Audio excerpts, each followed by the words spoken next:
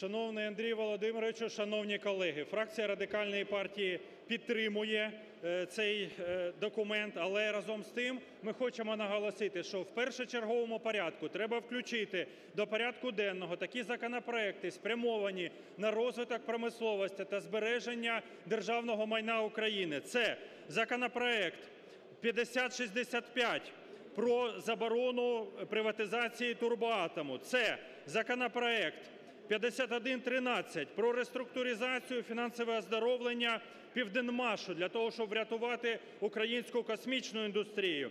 Це також законопроект про мораторій на видалення зелених насаджень в місті Києві (4703-1).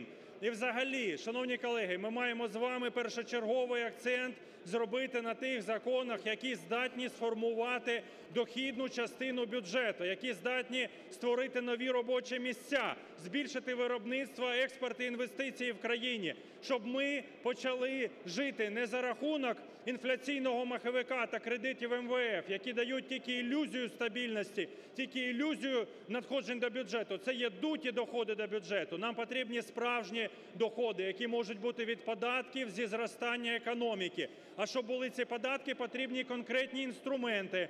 Ці конкретні інструменти вже запропоновані фракцією Радикальної партії, нашими колегами по парламенту.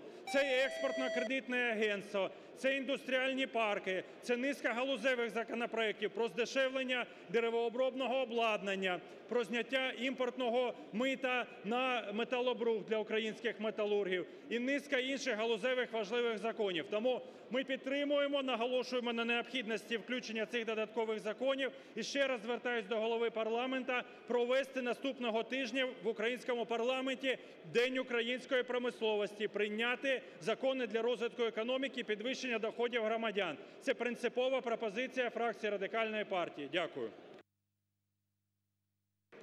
Дякую вам. І ми на Погоджувальній раді це питання узгодили, що наступний пленарний тиждень почнемо "Екологія і промисловість". І це питання, яке ми вчора узгодили, і воно не буде порушено, як і цього тижня.